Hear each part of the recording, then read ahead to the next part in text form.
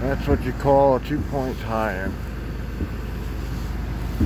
Got a rope there, a rope here, and whatever one you lower down dictates where you want it. Pour the rest over here in a bull rope, and that one over there is you can swing it wherever you want in between there like a pendulum. Beautiful thing.